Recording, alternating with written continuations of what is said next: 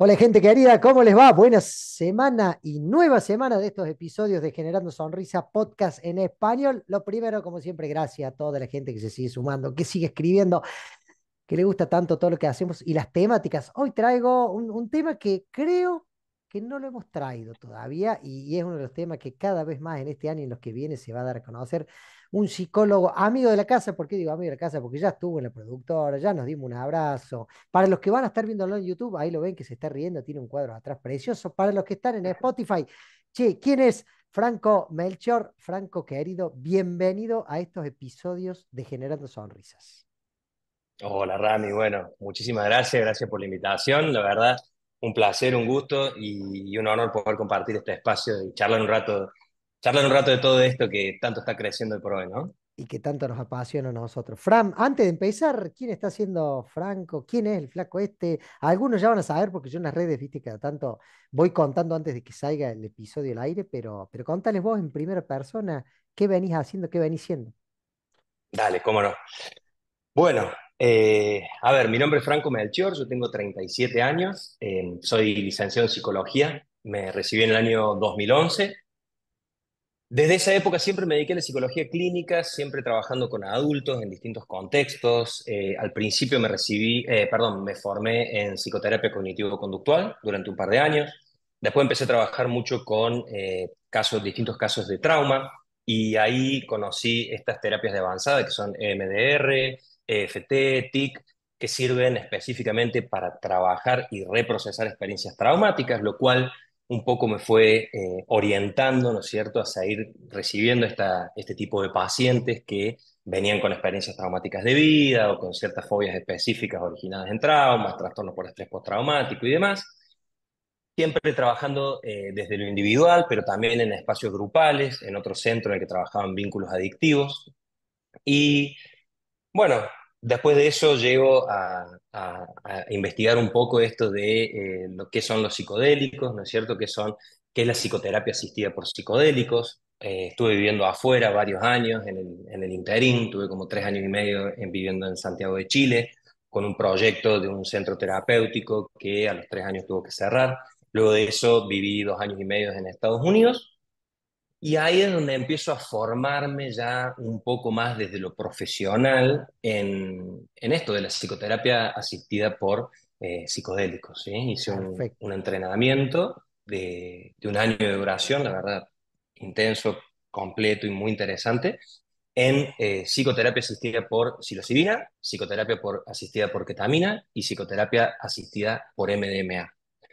Eso desde lo profesional, digamos. Me encanta. Te escucho. Te, te consulto, cuando hablaste del MDR, el, yo, yo alguna vez creo que lo he utilizado y hemos entrevistado a alguna psicóloga, es esto, por ejemplo, de los lentes, un tipo de lentes donde vos tenés tapado una parte de la visual y trabajas muy agudamente un tema de algún trauma, cualquier trauma que este, que este sea, ¿no es cierto?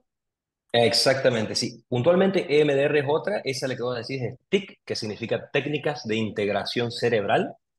Se trabaja con unos lentes, como vos muy bien dijiste, que te tapa por completo, digamos, la luz que ingresa en un ojo y en el otro te deja destapado una porción.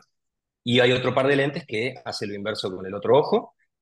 Y lo que va haciendo es, al, al- bueno, hay todo un protocolo de trabajo claramente que conecta a la persona con el recuerdo del episodio traumático, activa mucho el- la parte emocional, el sistema límbico, y al estar eh, recordando y reviviendo esa experiencia, empieza a generar esta alternación entre unos lentes y otros, genera que eh, uno revea o reviva ese recuerdo, experiencia traumático, a predominancia de un hemisferio y luego a predominancia del otro hemisferio. Siempre funcionan en, en contacto, siempre está, funciona todo el cerebro, pero al estimular un poquito más uno y otro, genera eso, que es el mismo proceso que sucede con EMDR, pero que se hace mediante estimulación bilateral, que puede ser por movimientos oculares, puede ser por estimulación táctil o incluso auditiva.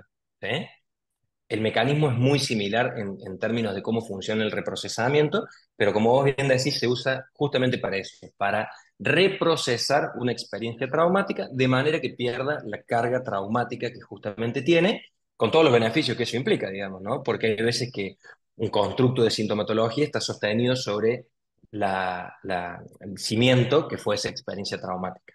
¿Mm? Entonces, perfecto. como que acá ata- atacás el cimiento.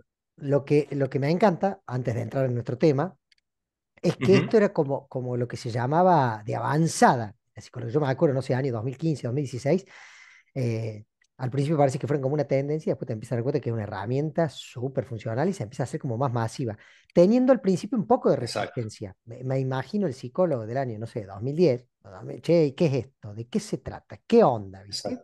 Ahora, em, de ahí vos te empezaste a formar en Estados Unidos en Psicoterapia asistida por eh, psicodélicos. Psychedelic. Assisted Psychotherapy se llama, ¿no? que Eh, eso hoy sí. en muchos países todavía está, no sé si es, si es prohibido o todavía no, y en otros países no, que eso es lo que me llama la atención, como que hay países que esto ya está habilitado o se conoce, cualquier psicólogo lo puede estudiar y lo puede trabajar abiertamente. Sí, totalmente. Por supuesto que cada, cada país tiene marcos legales diferentes, Sí, eh, políticas de drogas diferentes, y hay algunas formas, digamos, hay maneras de acceder a estados psicodélicos sin utilizar ninguna sustancia, eh, como por ejemplo técnicas de respiración, ¿sí? Eh, o, o hay veces que nosotros, suceden, nosotros con el método claro, Hof, claro. Por ejemplo, sí, no se llega a un estado alterado de conciencia tan profundo como puede suceder con, con, bueno, con, un- con la psilocibina o con alguna otra sustancia, pero puntualmente hay una, hay una técnica que se llama la, técnica de respiración holotrópica, Sí, desarrollada por Stan Grof, que es el padre o uno de los padres de la psicología transpersonal. Y esa técnica de respiración son, son talleres que duran dos horas, tres horas, y mediante esa respiración se logra un estado casi exactamente igual al que genera, al estado inducido por estas sustancias, digamos, ¿no? Lo que abre infinitas preguntas y puertas si no estoy metiendo ninguna sustancia, solo respiro distinto, ¿qué, qué es la conciencia? Eh, ¿cuál es el límite de mi conciencia? Porque estamos acostumbrados a pensar y sentir que está limitado por nuestra función cerebral, por nuestro cuerpo, ¿sí? Y en estos estados se experimentan cosas que, que bueno, aparentemente no tienen esos límites tan marcados, ¿cierto? son como, como niveles de, de atención que hasta son difíciles de explicar desde los cinco sentidos. Porque nosotros puedo decir, pero 100%. yo en el método Wim por ejemplo, hay respiraciones, hay apneas en las que la gente dice, che, estoy flotando. ¿Cómo que estoy flotando? O hay gente que te dice, che, vi una luz de tal color. Vi. Sí, ¿Y qué, le, qué hiciste? Nada, solamente respiré, estresé el cuerpo de manera voluntaria, generé una apnea sin oxígeno y al tiempo generé una apnea con oxígeno dentro del cuerpo. Digo, sí, me, me encanta cómo lo estás llevando. De ahí, vos me decís que em, esto que hablamos en los marcos legales de cada país y demás, sí. allá empezás a estudiar o empezás a profundizar en esto con algún tipo de inducción, pero con cuestiones que son naturales. Claro, por ejemplo, mira, Bueno, esto de los marcos legales, déjame hacer un paréntesis acá, ¿viste? A mí me, me, me impacta un montón esta idea de que ahora está teniendo muchísima evidencia científica y el mundo occidental está adoptando, Hmm, incorporando todo esto, ¿no? Pero, pero te pones a ver, y esto estamos hablando de miles de años, de que son medicinas tradicionales de los pueblos originarios de toda América, de América Latina por sobre todas las cosas, ¿no es cierto? Como pueden ser la ayahuasca, el peyote, el San Pedro, ni hablar de los hongos, las veladas que hacían, ¿no es cierto?, la, la gran María Sabina, ¿no es cierto?, ahí en México. Bueno, en fin. Y, bueno, ahora se le está poniendo el criterio occidental científico de demostrar cómo y por qué funciona, lo cual es maravilloso, porque bueno, eso es lo que hace que, que bueno, se abra un poco más al resto del mundo. Y en términos eh, legales, sí, se está abriendo mucho más. Australia ya legalizó, eh, despenalizó, perdón, todos lo- los usos de psicodélicos de cualquier tipo y legalizó el uso psicoterapéutico de algunos de ellos, como el MDMA y la psilocibina. Eh, por ejemplo, Canadá, ya, en Canadá ya es legal la psilocibina hace varios años. Por supuesto, siempre en términos de uso terapéutico, no es que vos vas y compras libremente, ¿no? En Estados Unidos, en, un en un par de estados, el primero fue Oregon, California lo aprobó, ya es legal la psilocibina para uso terapéutico, están trabajando en, en- en las políticas, digamos, para regularlo, quién lo va a poder aplicar, de qué manera. Fran, Entonces, pausa porque esto va a estar tremendo. Ayúdame para el que está del otro lado que no tiene ni idea de lo que estamos hablando. ¿Qué es la psilocibina? Bien. La psilocibina es uno de los eh, psicodélicos clásicos, como se llama. La psilocibina es el compuesto psicoactivo que contiene los, los ciertos tipos de hongos, ¿sí? El reino fungi es un reino aparte del reino animal y del reino vegetal, el reino fungi, Y es un compuesto eh, que tiene características psicoactivas que influyen en nuestro cerebro generando estados alterados de conciencia. Pausa, sigo preguntando. Es el- porque esta es como una charla de amigos que después hay miles de personas que la están escuchando, pero una charla de amigos. sí, sí, Estados sí, alterados de conciencia es porque se plantea desde un desconocimiento, que no sabemos qué, cuál es el estado que está generando. Por eso, cuando, cuando hablan de estado alterado, porque nosotros damos por sentado cuál es el estado de la conciencia en el que debemos estar, pero esto es como, sí, es una charla mucho más profunda. Me encanta. O sea que la psilocibina es el psicodélico, uno de los más clásicos. ¿Y el MMA que nombraste hace un ratito?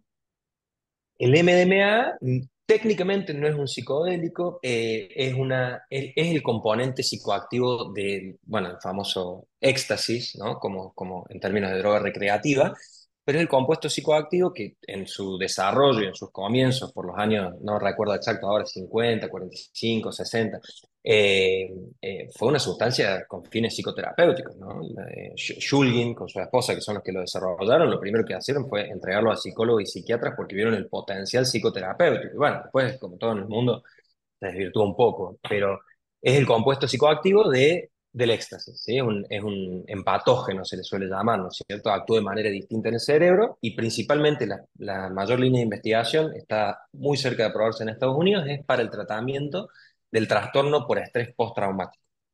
Eso es como una de las aplicaciones más fuertes. Perfecto, pero el MDMA es químico, no es natural. Exactamente, es sintetizado, no, no es una Ah, sustancia que ocurra naturalmente. En, en- sí. De la misma manera, la, la psilocibina es natural, pero también se puede sintetizar, ¿sí? Se puede replicar sintéticamente, pero se origina naturalmente en los hongos. ahí está. Y naturalmente desde el reino fungi en los hongos y no desde la parte vegetal de la planta. Exactamente. Aparece eh, eh, los hongos psilocibios, hay alrededor de 200 variedades de hongos psilocibios que generan 200. psilocibina, una barbaridad. Escucha, Hay millones, hay, hay millones de hongos que no están catalogados todavía, ¿no? Y dentro de esa barbaridad de, de cantidad que hay, hay 200 que son los hongos psilocibios conocidos y descritos hasta ahora que ah, eh, naturalmente contienen psilocibina. perfecto. Me voy de tema para volver. Vamos bien hasta acá, Dale, Franquito. Te agradezco un montón. excelente. ¿A dónde entra acá, por ejemplo, la marihuana? Que es natural y que hoy en la gran mayoría de los países del mundo eh, eh, está aprobada como, como, como medicamento, como, digo, esto Ujú. ya entra en en el mundo vegetal y en esto del reino fungio de los hongos, puede ser que sea parecido, te lo pregunto así como amigo, de que, Sí, sí. de que cada vez más, eh, o sea, había muy poquitos países que lo empezaron a probar y cada vez más países y hay como una cuestión al medio en ese marco legal, entre comillas, que tiene que ver con algo económico. Te lo pregunto como desde tu mirada en haber estado en varios países del mundo, en, en, en vos como psicólogo estar estudiando este tema y ver lo que se viene hablando, porque entiendo que hasta en la psicología, hace 10 años nadie habla de esto, hace 5 cada vez más, y hoy debe haber hasta eh, lugar, congresos que se habla puntualmente de esto desde la psicología. Absolutamente. En, en- casi todos los países del mundo ya es un tema que, que se está desarrollando, investigando, trabajando.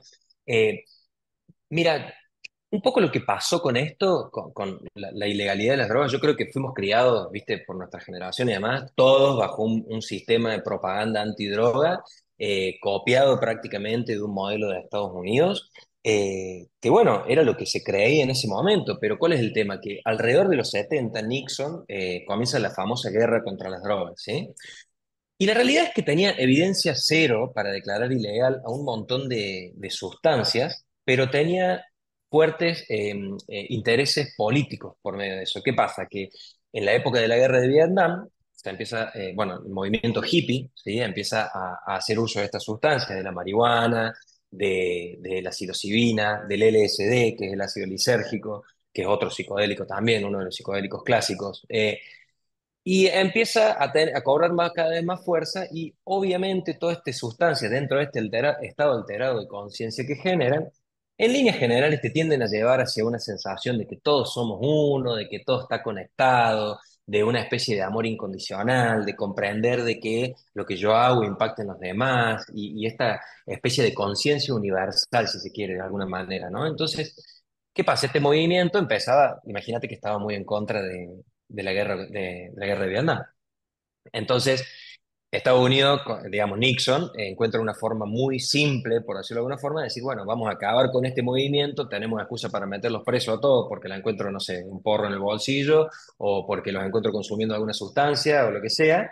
Y de esa manera tuvo un fuerte trasfondo político, digamos, ¿no? Sí, Y hasta el día de hoy están catalogadas como, sí, impresionante, impresionante. Y bueno, cada vez avanza más un poco el conocimiento más específico. Obviamente la marihuana fue la primera sustancia que empezó a tener como mucho más investigación. Ya se sabe que el, el nivel de impacto y de daño que genera a nivel neurofisiológico, del desarrollo y demás, por supuesto, no si, se consume en, edades muy tempranas de la vida, el impacto que hay está y está más que claro. No es para decir tampoco, che, consuman lo que sea con libertad y todo, ¿no? De ninguna manera.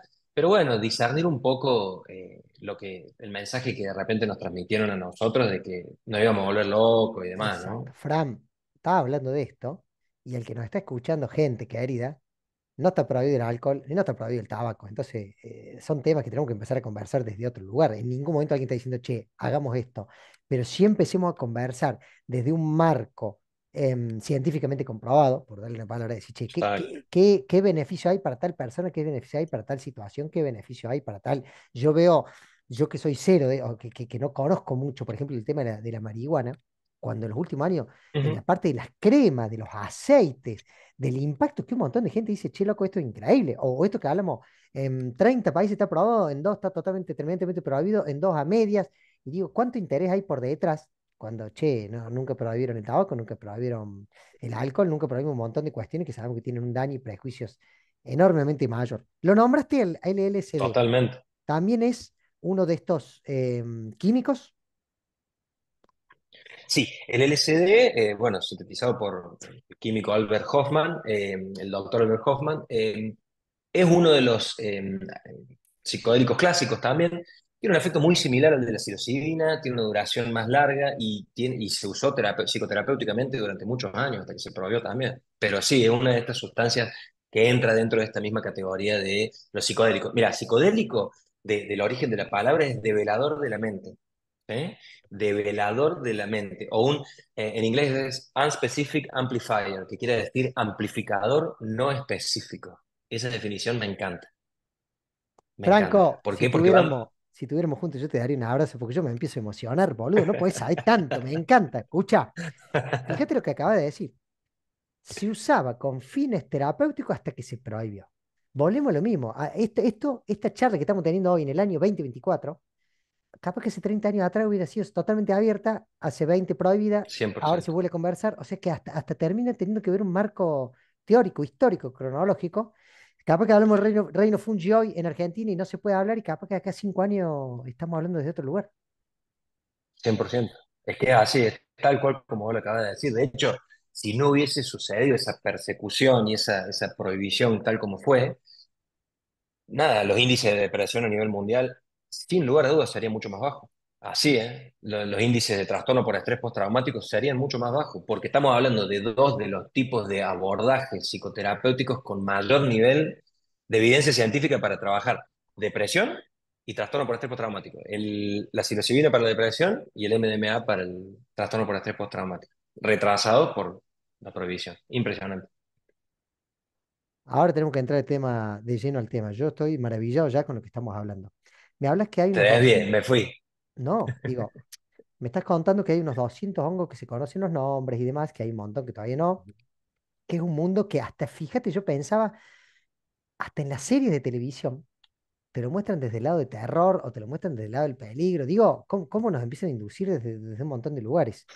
Si bien nosotros hoy en Argentina, esto, esto casi no se habla, no se conoce, vos en otros países eh, pudiste estudiar esto, pudiste conocer sobre estas temáticas, pudiste ver algún lugar donde lo estén abordando. Sé que hay hasta clínicas en otro lugar del mundo que, que se dedican exclusivamente al, al abordaje de un paciente con este tipo de, de medicación. 100%. Mira, eh, En Portugal también eh, están despenalizadas todas las drogas, por lo tanto también hay clínica de tratamiento. En Ámsterdam también vos podés ir y anotarte un programa de tratamiento con psilocibina de manera absolutamente legal. En Jamaica también sé que hay lugares donde se hacen este tipo de retiros, en Canadá también. Donde yo estuve en Estados Unidos, eh, como te digo, en la mayoría de Estados Unidos no es legal, recién se acaba de aprobar en Oregon, eh, pero sí hay por todo Estados Unidos muchísimas clínicas de psicoterapia asistida con ketamina.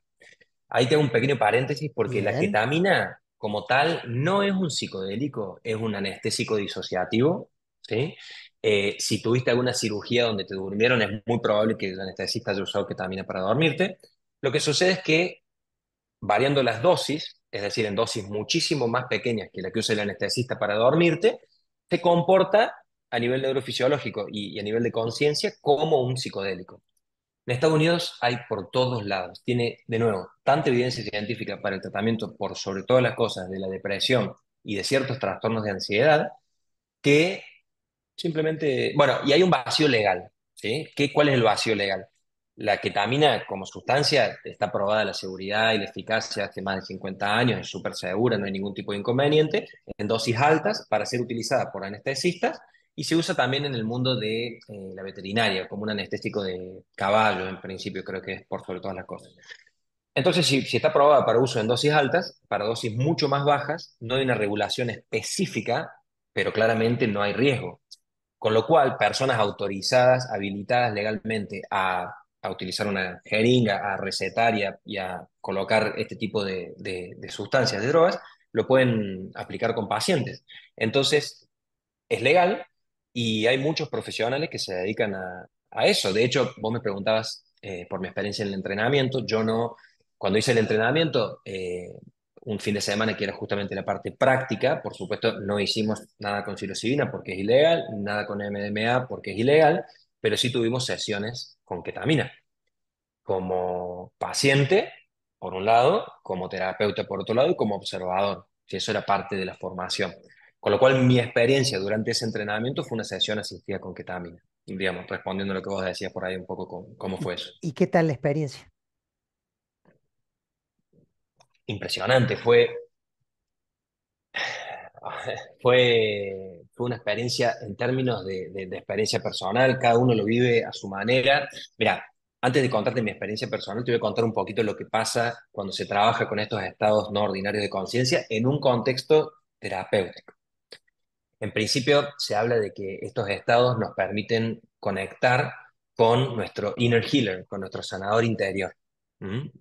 Básicamente, abre las puertas a que nuestro sanador interior nos pueda mostrar lo que sea que nosotros tengamos que vivir, experimentar, recordar, o lo que sea que necesitamos pasar por para poder lograr un mejor estado emocional, de salud, o lo que sea necesario. Por supuesto, se trabaja con una intención. La persona que va a hacer una sesión de este tipo pone una intención, un foco que quiere apuntar a resolver, pero el concepto es como entregarse a lo que sea que me venga a mostrar la medicina.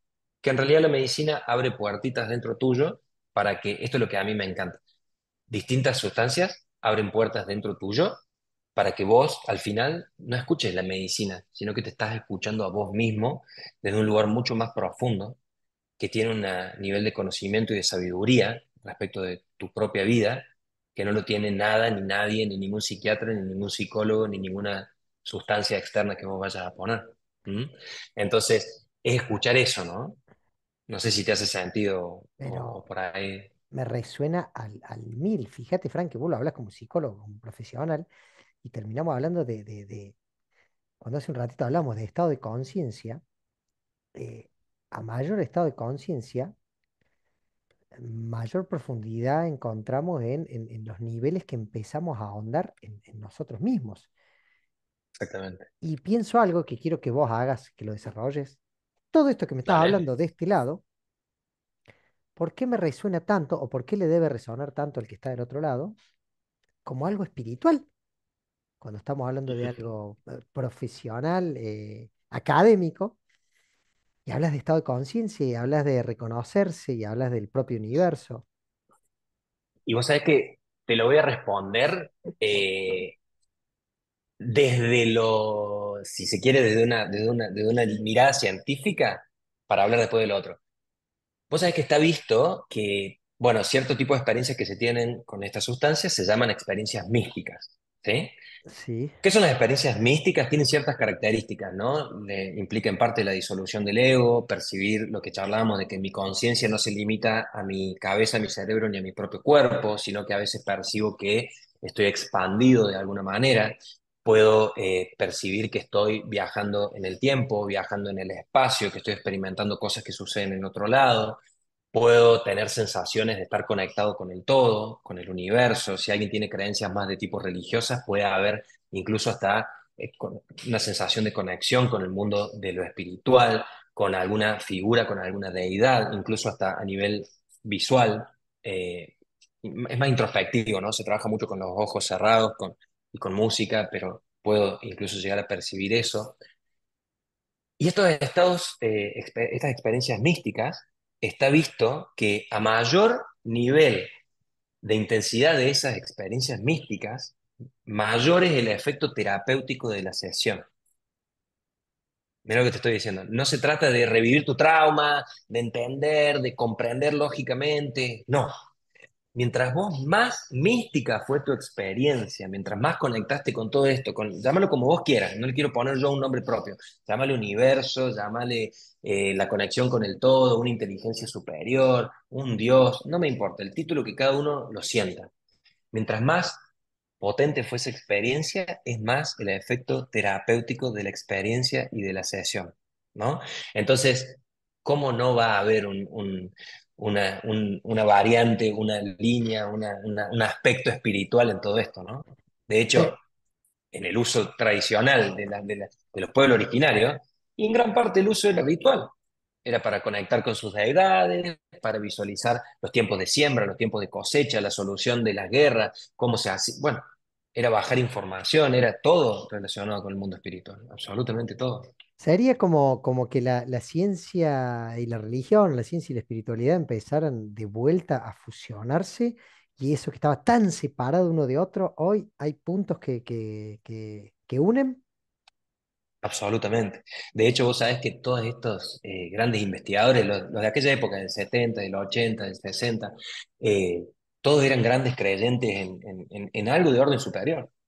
En algo de orden superior. Y hoy por hoy también, ¿eh? a lo que voy es que si bien la ciencia ha tratado de generar esta diferenciación, esta, esta disociación entre el mundo espiritual y el mundo científico, duro y demás, eh, se está viendo de que la ciencia te está volviendo a llevar de que, no sé si a comprobar que existe tal Dios, pero a comprobar de que algo más hay, por lo menos desde el mundo de, desde la psiquis, la psicología, las relaciones, el, entendimiento de todo esto, sin lugar a dudas, absolutamente sin lugar a dudas. Y a mí me, me, me vuela la cabeza este concepto de que la ciencia va demostrando que las prácticas más ancestrales tienen una validez y una fortaleza y una vigencia más grande que nunca. Más grande que nunca. Se usa para tratar adicciones. Nos vendieron que nos vamos a volver adictos y se usa para tratar adicciones. El creador de Alcohólicos Anónimos dejó de tomar alcohol, era alcohólico, dejó de tomar alcohol en una sesión con ácido lisérgico. O sea, Qué hermoso que escucharte, hermano. Fran, ¿por qué? ¿Por qué esto? No, sé si, si es una. ¿Por qué yo siento, percibo en, la, en las cientos de entrevistas que vengo haciendo los últimos dos años profesionales de todo el mundo, que esto se ha acelerado en este último tiempo? ¿O qué mirada tenés vos mm. de que esto venía creciendo, por decir, año tras año, y parece que en los últimos dos años, tres años, fuera semana tras semana. En materia de contenido, de, información, em, no, quiero, no quiero ser inductivo con la respuesta, pero digo, puede ser porque al verse resultados, esto se está ramificando cada vez más rápido. Me preguntas específicamente sobre todo este movimiento de, del renacer del movimiento psicodélico, digamos. Hablas tan lindo que, lo, que, me, responda me va a encantar. No sé, ya me fui, pero las dos, las dos. del movimiento y del, del, del, más amplio. Dale. Eh, en, concreto, mi opinión respecto de esto, de, por qué está, está siendo ya más mainstream, ¿no es cierto? Está, vos buscás y salen en los diarios, en los noticieros, por todos lados, ¿no? Este, este tema del uso psicoterapéutico de sustancias psicodélicas. Eh, Creo que tiene que ver con el gran cuerpo de investigación que viene habiendo desde los últimos años, eh, pasando en blanco recién desde el 2005 se vuelve a aprobar la primera investigación con psilocibina en términos legales, ¿no? O sea, que, que, el gobierno en Estados Unidos autoriza volver a iniciar la investigación, 2005, ¿no? Desde el setenta y tanto que se bloqueó, se, se, hizo ilegal, se prohibió. 2005, la primera. Y si vos buscas la cantidad de papers publicados por año, hace una subida, una escalada enorme. Entonces, exponencial. En términos de, exponencial, exponencial. Entonces, en términos de la generación de contenido de tipo científico eh, que se pueda divulgar, bueno, el crecimiento fue muy amplio, claramente eh, sostenido por el, el, el, los resultados. Voy a hacer un paréntesis y voy a conectar con un, tema que hiciste vos antes. Vos preguntaste alguna vez si había intereses económicos. Claro que sí. Sabes que nada del, dinero puesto para financiar la investigación para el MDMA ni para la psilocibina vino de las grandes industrias farmacéuticas.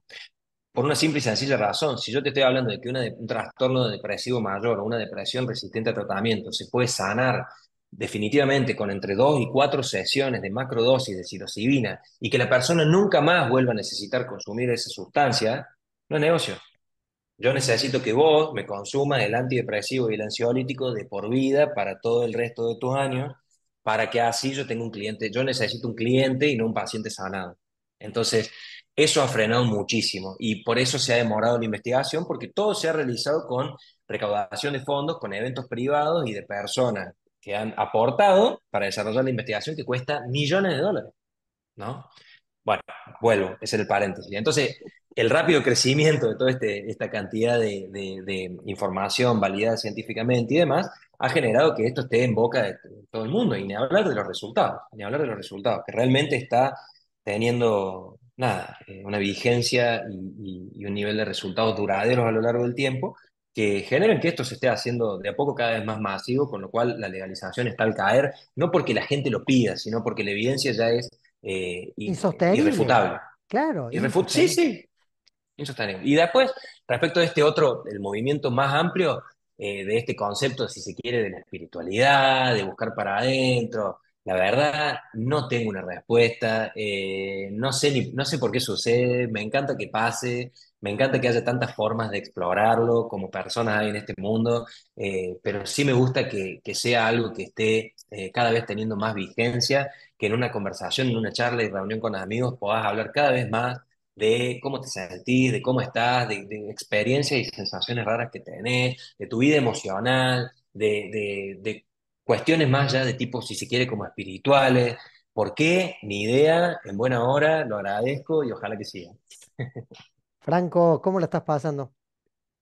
Excelente. Vos, es más, vos me tenés que frenar, porque yo arranco a No, hablar, ¿viste? Y... esto, esto, sos tan claro para, para compartir. Te sigo preguntando porque ahora me interesa en esto, en esto de, de que la evidencia es irrefutable. Porque el que nos está escuchando del otro lado dice, che, yo tengo depresión o mi vieja tuvo un estrés postraumático, yo alguna de estas cuestiones pueden ayudar. Es como muy, muy acelerado el proceso. Che, yo tomo la medicación desde hace 15 años y vos me estás diciendo acá que yo en cuatro sesiones o en dos sesiones yo puedo pim, pam, pum. Sí. Mi pregunta es, o, o que me desarrolles y nos compartas. En otras cuestiones, por ejemplo, problemas físicos, problemas de, estoy pensando, no sé, mientras hablo de, de, de tic, problemas nerviosos, problemas de, de, ansiedad, problemas, no sé, de- sigo pensando. ¿Esto puede impactar en un montón de, ámbitos? absolutamente. Eh, como, bueno, como funciona el mundo de, la investigación científica, digamos, eh, se empieza haciendo investigaciones como bastante específicas y acotadas, digamos, ¿no? Porque no se puede aprobar un, nuevo, tratamiento, una nueva, no nueva, pero una sustancia para un nuevo uso de manera legal para decir, che, aprobemos esto que sirve para todo, ¿no? Entonces se, se, se enfocan los esfuerzos de investigación para decir, bueno, a ver, o sea, como te comentaba, el MDMA para el tratamiento del trastorno por estrés postraumático lleva años de investigación, eh, ensayos con miles, ensayos clínicos con miles de personas, con placebos, con eh, la sustancia, comparado con el tratamiento más efectivo que hay conocido hasta el día. Entonces, la investigación siempre comienza de manera muy aislada. Ya hay muchísimas líneas de investigación abiertas para todo tipo de adicciones, eh, para el alcoholismo, para adicción a otras sustancias, para eh, cesación tabáquica eh, para trastornos alimenticios eh, de todo tipo, anorexia, bulimia, para trastorno depresivo mayor, depresión resistente al tratamiento, para distintos trastornos de ansiedad, funciona increíblemente bien para el TOC o trastorno obsesivo compulsivo, y esto es lo que así pensando rápido, es lo que yo me acuerdo de las investigaciones que yo he leído, que no son todas las que hay. Con lo cual, sí, tiene un muy amplio espectro de el potencial y el uso terapéutico que esto puede tener. ¿sí? Se va a seguir investigando, eh, va a seguir habiendo cada vez más evidencia, pero, pero bueno, primero lo primero que es que se apruebe, digamos, ¿no? En términos legales. Y déjame hacer un paréntesis también por ahí para, para aclararle a la gente, ¿no? A la gente que nos está escuchando, que no, no se trata del consumo o del uso de una sustancia eh, libremente, como, como de repente, bueno, vos tomaste antidepresivo y, y la sustancia es la que genera el efecto terapéutico en vos porque disminuye síntomas y vos, mientras tomes esto, metele para adelante. Muchas veces la gente piensa que, bueno, entonces, ¿qué? Yo me como unos hongos y eso me ordena las ideas. No, sí y no. Pero ¿por qué digo que no? Porque hay todo un protocolo, o sea, en esto del desarrollo científico que hay, bueno, se han desarrollado protocolos que son los que sirven para acompañar y sacar el mayor potencial terapéutico de estas experiencias en estos estados no ordinarios de conciencia. Comentado rápidamente, en general primero se hace una entrevista para descartar ciertos factores que pueden ser factores de riesgo. Hay personas a las que no es conveniente el consumo de este tipo de sustancias. ¿sí? Eh, después de descartar esas posibilidades, se trabaja mucho en preparar a la persona, ya es una fase de preparación para que la persona sepa cuáles van a ser los efectos, cómo lo va a percibir, eh, cómo se va a ir sintiendo a lo largo de eh, la evolución de, lo que dura la sesión con, esa sustancia, cómo se hacen acuerdos sobre la mejor manera de apoyar a la persona. ¿Qué pasa con el contacto físico? ¿Es, es, es favorable? ¿No lo es? ¿La persona lo prefiere y se siente acompañada y sostenida? ¿O de repente puede ser que esté trabajando una situación de abuso sexual y de repente yo creo que le va a acompañar y le sostengo y eso es retraumatizante, ¿no? Entonces, bueno, un montón de cuestiones que son súper importantes para preparar a la persona, para que pueda elegir la intención y el foco donde lo va a poner, para que pueda y sepa entregarse a la experiencia y pueda animarse a soltar el control, ¿no? Que tanto nos cuesta muchas veces el control de nuestro estado de conciencia. Clarísimo, ¿Mm? clarísimo. Una vez bien preparada la persona, después se trabaja con la sesión experiencial, digamos, con la medicina como tal. Son sesiones largas, claramente, son sustancias que la vida útil, la vida no vida útil, la, vida en sangre, digamos, bueno, no son, no es una hora, ¿no? Duran tres, cuatro, cinco horas, dependiendo de la sustancia y demás. Eh, y después de eso viene la, el proceso del trabajo de integración. Porque no es que, che, listo, vos viste lo que viste y listo, ya sos un tipo nuevo. Bueno, a veces salgo como sintiéndome como nuevo, a veces le puedo haber pasado súper mal en la experiencia, puede haber sido súper desafiante, pero lo más, una de las partes más importantes es la integración. ¿Qué es la integración? Es todo lo que vi, lo que escuché, lo que vivencié, la información que pude entender, las nuevas conexiones que hice, etcétera, cómo esa información yo la incorporo para generar cambios en mi vida, para generar cambios en mis patrones emocionales, en mis patrones conductuales, y en mis patrones cognitivos. ¿sí? Entonces eso tiene un correlato neurofisiológico, donde básicamente tu cerebro tiene una bomba de neuroplasticidad, perdón lo criollo del término, pero está muy estimulada esta característica que es la neuroplasticidad, que en dos palabras es la capacidad de nuestro cerebro de reconfigurar las conexiones que existen en nuestro, entre nuestras neuronas y desarmar conexiones antiguas muy sostenidas en el tiempo y generar nuevas. ¿Sí? Entonces, y eso queda, ¿sí? sobre todo con una macrodosis, una dosis grande, eso queda durante un buen tiempo. Entonces, tu cerebro te está facilitando tu proceso de cambio, porque al fin y al cabo, si vos tendés a sentirte triste, tendés a enojarte rápido, tendés a interpretar las cosas o tendés a pensar de vos que no vales, que no sos suficiente, ¿qué es eso? Neurofisiológicamente son patrones neuronales, son... son eh, Cableados que están instalados de la misma manera que vuelve a hacer una nueva conexión, un recableado. Después alguien tiene que ayudar con ese proceso. Che, yo estoy pensando cosas que no pensaba, o, estoy sintiendo cosas que no sentía, o estoy Exactamente. percibiendo la realidad desde un lugar en el que yo no la percibía. Como te puede pasar en, Exactamente. Un, en un trauma, porque ya la te pasa cuando dicen un despertar de conciencia. Es, che, me pasó algo duro, grande, grave, no sé qué palabra ponerle, y yo de ahí fui otro. Sí, sí. El Franco de hace 10 años no es el mismo Franco de hoy. ¿Qué le pasó en 10 años? Y me pasaron todas estas cosas, Rami. Acá es como un, un, acelerado de eso.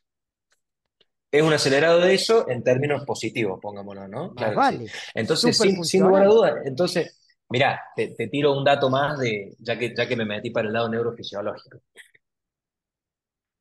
Hay, hay algo en el cerebro que se llama la Default Mode Network o la red neuronal por defecto.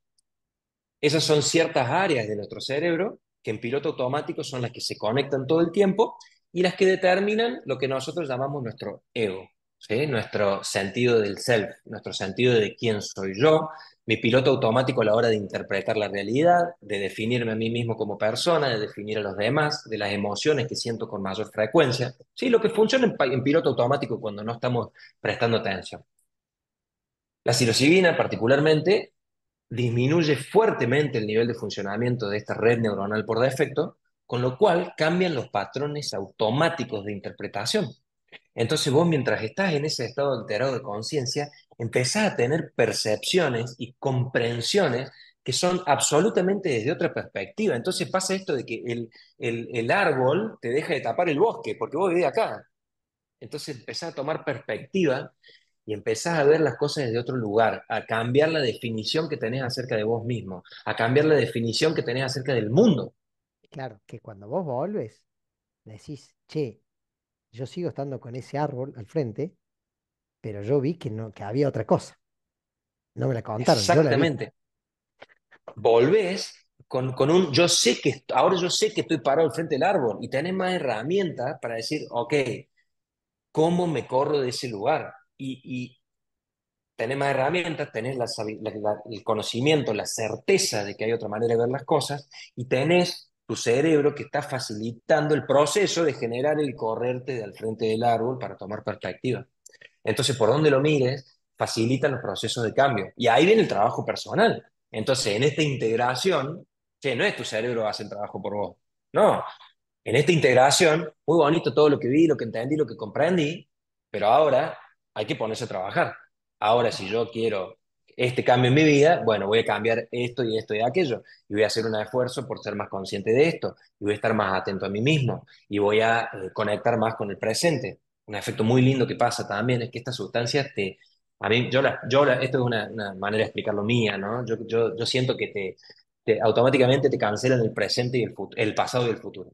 Es como si de repente llega un momento en el que vos estás en un estado de presencia absoluta, con lo cual tenés esta facilidad para tomar perspectivas diferentes para analizar las cosas, porque el pasado deja de pesar y el futuro deja de importar y de preocupar. Entonces estás solo aquí ahora. Y eso para mí, ese solo aspecto de permanecer un rato ahí, te da una sensación de paz y de tranquilidad y de esta conexión con el todo, que realmente te hace tomar perspectivas diferentes. Che, yo sé que hay temas, ¿no? Cuando volvés, ¿no? Yo sé que hay temas, pero hay otra forma de estar, ¿no? Una cosa así. Escúchame, si no estuviéramos online, te estaría dando un abrazo ahora y vos me dirías, bueno, Rami, cálmate. yo estaría igual. Gordo, esto. Vos no te das una idea la, la cantidad de ficha que yo estoy. Eh, no sé por dónde seguir. Eh, in, insisto, insisto en lo, en lo, en lo grande que es esto, porque fíjate que vos hablaste de pasado y futuro y recién pensaba las, la, las medicinas tradicionales, como le llaman, o medicinas ancestrales, uh -huh. en una era de la sobreinformación, de la inteligencia artificial, vuelven a tomar un protagonismo que nos, uh -huh. nos arrasa. Sí, sí, sí. Sí, totalmente. Es lo que te decía, de lo que me impacta a mí, o sea, un poco la, la ciencia moderna siento que está demostrando con, con, con, los datos que nos gustan a los occidentales y a nuestro hemisferio izquierdo y toda esta historia, eh, que, che, tenían razón, tenían razón el chamán, tenían razón la sensación de la ayahuasca, tenían razón la medicina ayurvédica, tenían razón eh, toda esta filosofía más de, de, conectar con el presente, con la meditación, o sea, bueno, sí, 100%. Escucha, y bueno, ahora, ¿no? Sí, estuve, estuve entrevistando hace poco a Antonio Valenzuela, hoy bestseller uh -huh. con su libro en España, de, de, de, volver a lo primitivo, de volver al Homo sapiens, a andar descalzo, a meterse el frío, a hacer ayuno. Y el flaco viene diciendo la resistencia que él no entiende que le genera todavía mucho a los pares. Franco, los otros psicólogos, ¿qué, qué mirada tienen de esto? ¿Qué ves en, en la psiquiatría y uh -huh. la psicología? Y es una buena pregunta. Eh, yo creo que eh, ah, se está dando una apertura bastante rápida al tema, bastante, bastante rápida. Eh, bueno, viste cómo es esto también, uno se rodea un poco con la vibra y atrae y conecta con las personas que más o menos vibran y conectan desde, desde una misma mirada y perspectiva, ¿no? Y empieza a suceder de que de repente se pierden conexiones con personas que, que, que piensan completamente distintas y no por, por hacerlo voluntario, creo que hay una cuestión ahí, no sé, llamarla vibratoria o como sea, esta, la magia de cómo conectamos pero de todas maneras creo que, que realmente eh, eh, se está dando una apertura realmente muy, muy rápida, que está habiendo un nivel de aceptación e incorporación de todos estos conocimientos. Y bueno, lo que hablamos antes, sostenido también por el aval científico que se está creando en todo esto.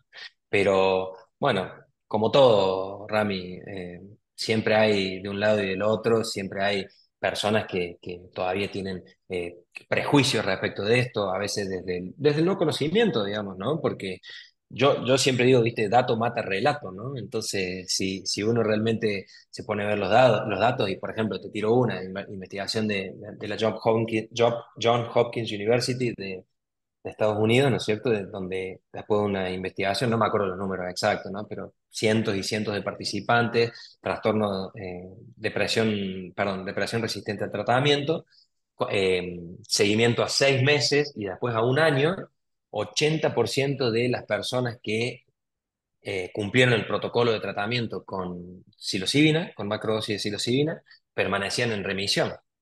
Para que vos tengas una idea, la definición de eh, depresión resistente al tratamiento son personas que durante por lo menos 10 años han eh, hecho distintos tipos de procesos psicoterapéuticos y han probado por lo menos tres tipos de medicamentos o más, antidepresivos, claro, y no, y no logran salir de ese estado esas personas, estamos hablando de tipos que tuvieron 15, 20 años deprimidos y después de un protocolo de entre 2 a 4 sesiones con su integración, todo lo que charlamos antes, al año todavía siguen sin depresión. No, no más preguntas, su señoría. tenemos, va a volver, está clarísimo que vas a volver, porque hay, hay temas que los tocaste así de, de, por el margen y dije, che, yo no quiero entrar ahí porque quiero, quiero ir al tema de las emociones, quiero ir al tema de la, de toda esta inteligencia emocional. El Franco, última pregunta, como para ya dejarte, para que hagamos el cierre juntos. El Franco Melchor de hace 10 años atrás, ¿se hubiera imaginado el Franco Melchor que está hablando hoy acá? no, qué buena pregunta. Eh, no.